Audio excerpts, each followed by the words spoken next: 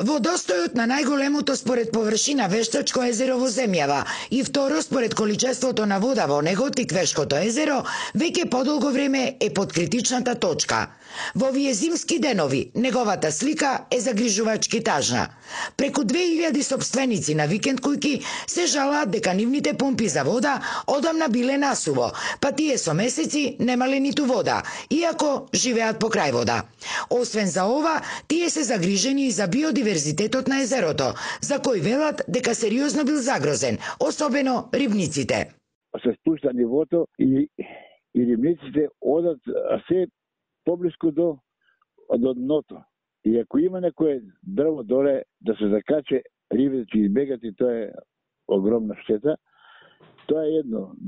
Друго, сите ние што живееме на, на Тикешково, по видите имаме пумпи за вода, оти немаме таму водовод.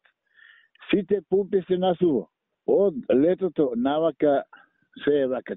Че, че качат малку пак ќе спуштат до крај.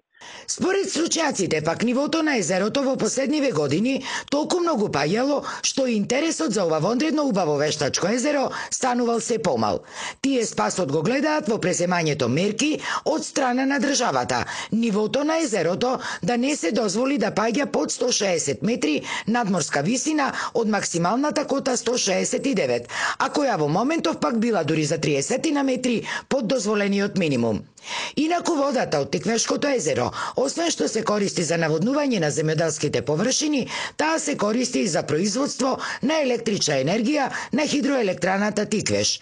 Кавадарчани се сомневаат дека сега, заради актуелната енергетска криза, езерото се испумпувало многу повеќе од дозволеното, заради што тие се закануваат и со протести.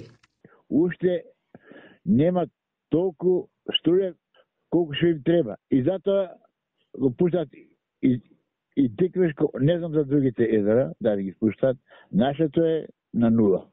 Сега е катастрофа. Сабајде, кога станав, сето насуво и имам таму ја и чамци, тоа чамци, мотори, сето насуво тоа.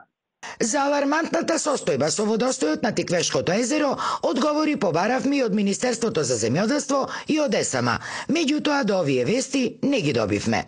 Тиквешкото езеро е со површина од 14 квадратни километри и со зафатнина од 475 милиони кубни вода. Водата се користи за наводнување и за добивање на електрична енергија. Наводнувањето се врши преку хидросистемот Тиквеш, а во близина на браната е подигната хидроелектраната Тиквеш. Во Тиквешкото езеро се констатирани и повеќе видови риби кои се предмет на стопанската експлоатација, помеѓу кои и единствен единствениот вид на сом кој достигнува должина и до 2 метри и тежина преку 100 килограми.